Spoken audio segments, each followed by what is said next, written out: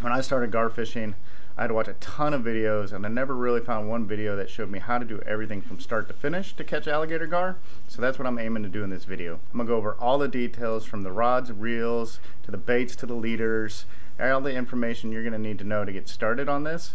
And I'm talking specifically big alligator gar around four foot or larger. And I'll also leave links to everything in the description to make it all easier for you.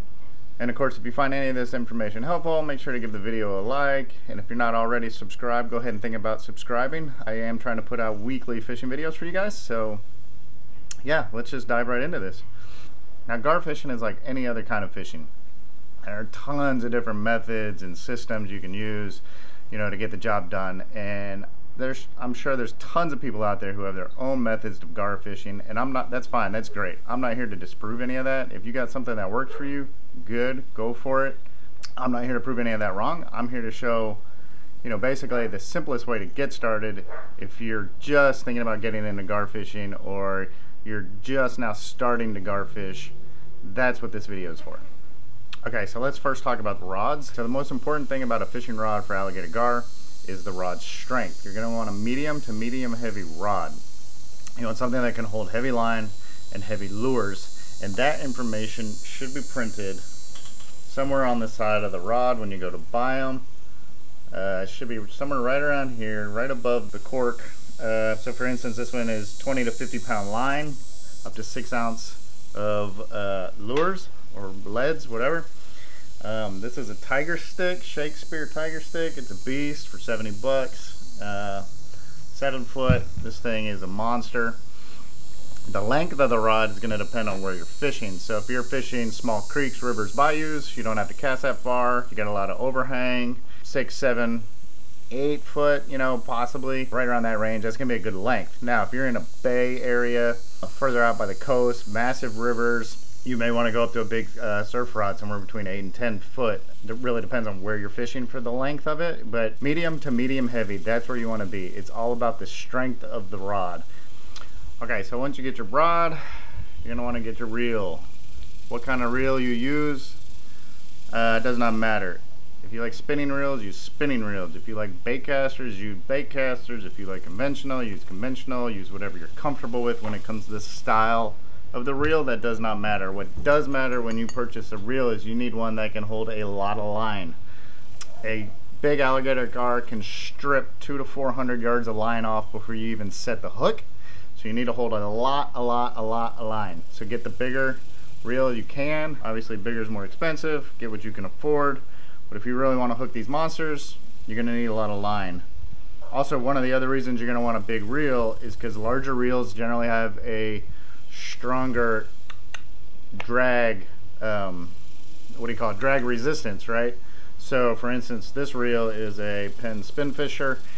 It has about 40 pounds of drag resistance, which means when that fish goes to pull, he has to exert 40 pounds of pressure to strip the line off the reel to activate the drag system. Smaller reels generally have somewhere between 10 to 15 pounds of drag. So can you fight an alligator gar on a small reel? Yes. The alligator gar is going to mostly be winning. You're going to have to finesse it. You're going to have to wear that gar down. You get the bigger ones with the bigger resistance.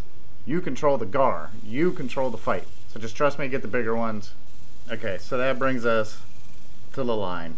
So I am going to suggest that you use braid. One of the main reasons you want to use braid is because you can get a lot more braid on the line compared to mono at the same strength. So, for instance, 40 pounds of mono on this reel, I can get 260 yards. 40 pound braid, I can get 730 yards. So there you go, guys. 730 yards of line compared to 260 yards, okay? Braid is thinner, you get more on the reel, and you're going to want more more line because like I said a big alligator gar can easily strip off two to four hundred yards of line before you even set the hook so you're going to want to use the braid strictly for the capacity uh, aspect of it and when it comes to the strength of the braid 80 pound uh, test strength or heavier I generally use somewhere between 80 and 100 I know a lot of people use all the way up to 150 pound it's going to depend on two reasons one your budget right? And two, what reel you have. So if you have a 150 pound line, you're gonna get less line on the reel than you would at a 100 pound line. So it's gonna come down to price and your reel, how much line can you get on it to make your best judgment there on, on your situation.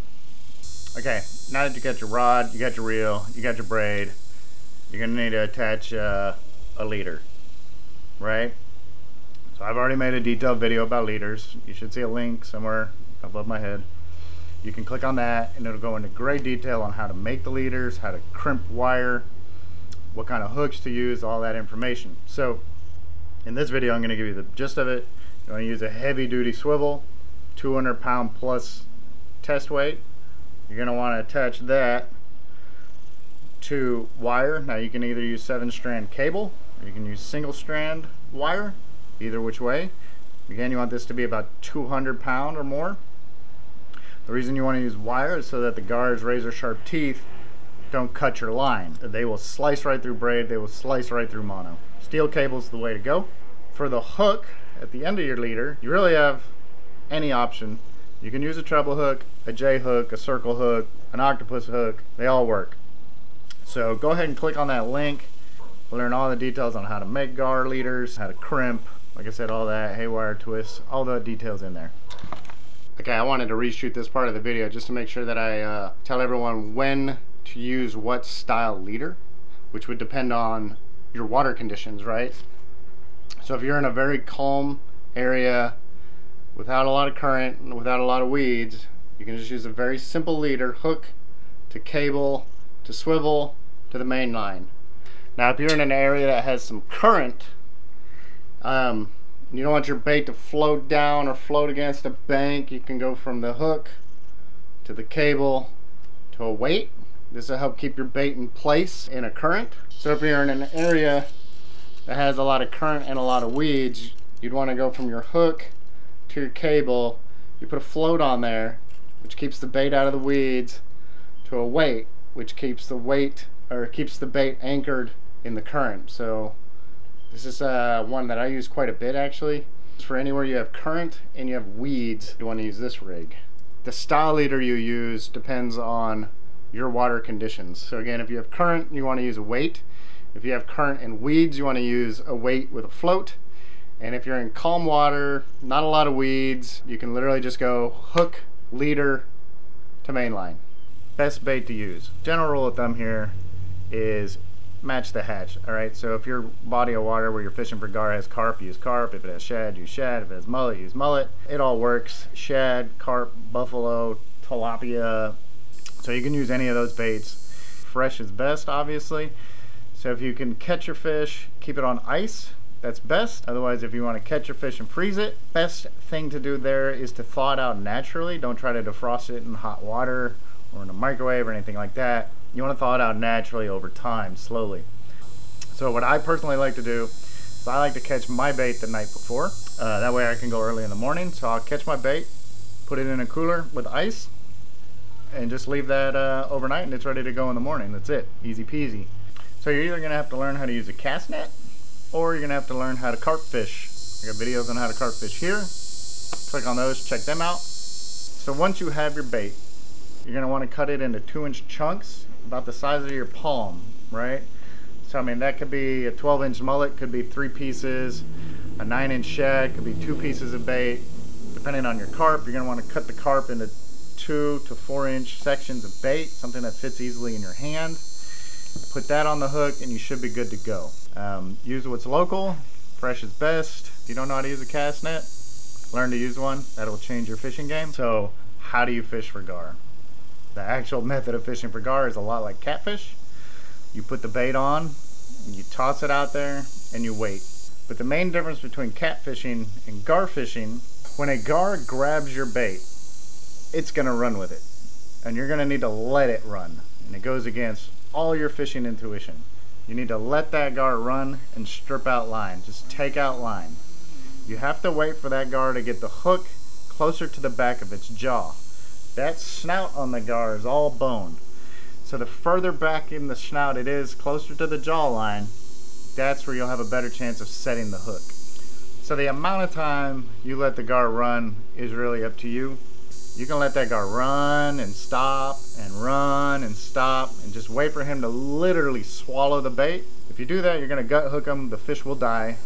But again, if you're keeping it for food, it doesn't matter. I do suggest that if you are sport fishing to use the circle hooks, octopus hooks, J hooks, and you should probably let it run only a few minutes and then set the hook. So there's a few ways that you can let a gar run with the line. So you can do a couple things. You can just leave your bail open and just let the line come off. Right? You can have your bail closed, but leave your drag super, super loose so you can just run with it. Or you can use something called a live liner. I'll get into that in a second. So if you have your drag super loose, you're gonna have to open the bail, pull out a bunch of line, tighten down your drag, close the bail, set the hook. You can do that. It works. If you have your bail open, you're to have to watch your bail continuously because you're just to have to watch to see when line comes out. You're not to hear it. But you need to make sure if you're doing that that your drag is set to where you need it so when you close the bail, you can set the hook. What I like to use is a feature called a live liner or, or a bait runner or whatever it is. And, it, and basically what that is, is it's a second drag system always on the bottom of the reel. So you have your main drag on top that you set, and you have your live liner here. And what this does is it leaves it in free spool. So when that's when that's activated, your main drag is still activated, the line can come out. And you click that, boom, you can set the hook because this is already in place where you need it. I find this a lot easier. The gar's running, you click that lever, set the hook, easy peasy. Similar thing if you're using a conventional reel, you can just leave the reel on free spool, click off the free spool lever, set the hook, and you're good to go. Now when it's when it comes to setting the hook guys, you're gonna need to set that hook hard. You gotta have your drag set to where the, the line won't strip out because that snout on the gar is all bone. And if that's where the hook is, you need to try to pierce some of that bone or at least some of the tissue and cartilage around its mouth. So you got to set that hook hard, guys. Don't be afraid. I mean, yank back on that reel. And you only got to yank back at least once. If your drag was a little too loose, give it a second yank. So once you got it, once the gar's on the line, once you've set that hook, keep the line taut. Keep it tight that hook, if you just got it in the snout, in that small piece of bone or cartilage, that hook can come out or it can spit the bait out. Keep that line tight, and you'll have better odds of landing that fish. Okay, so one of the one of the few things I learned the hard way on, on gar fishing is once you've hooked the gar, once you've got them to the bank, you got to land that gar. So gar have very sharp teeth, they have very sharp scales, they get very, very big and heavy you're going to need a lasso. Uh, I know that sounds funny. If you don't know how to make a lasso, quickly look up a lasso. Uh, you could actually use a carabiner tied to a rope, clip it on, and um, use that method. Uh, you want to get the lasso behind the gills to be able to pull that fish on shore. I mean, these things can get up to a couple hundred pounds. Um, you know, unless you plan to get in the water with this fish to take your photos, then you're going to need a lasso. Now if you plan to eat this fish, you could just use a gaff, kills the fish, up to you. Um, one of the main questions I get asked all the time, and the one everyone wants to know, is the where and when. Where and when. When is the best time to garfish? Is it middle of the day? Is it early morning? Is it overnight, in the middle of the night? The answer is yes. Gar bite all the time. Just like any other fish, you need to learn your location and your time. They will bite in the middle of the night. They will bite in the middle of the day. They will bite early in the morning. Anytime's a good time to go gar fishing. The thing is, gar can live basically anywhere. Freshwater, brackish water, swamp water, they can live in all of it. They have air bladders. They can live in just about any water situation. They generally like slow moving water. They're typically found lower U.S., Central America. So if you look in the rivers, big lakes, bayous, you can generally find them. So you really just got to do the homework. You got to get out there. You got to put some lines in the water and see if they're there. See if you spot them. You've been sitting there for a few hours. Have you seen any surface to get the air? Find your right spot. Find when they're most active in your spot and just get out there, man. Alright, so I think that just about covers everything start to finish that you need to know to get started gar fishing and that's what I wanted to do with this video. I wanted to try to capture everything from rods, reels, lines, baits, hooks, how to how to let the fish run, the where and the when. I try to cover all of it in one video, one resource tool, So I hope that helped you guys. And if you did, if you found any part of this video informational, feel free to, to, to give me a like on this video. And if you haven't done so already, you know, click that subscribe button. Uh, I'm trying to put out videos, fishing videos, at least once a week. Some are how-tos, some are just great fishing trip. But um, yeah, if you haven't done so already, please subscribe and look forward to making this next video for you guys.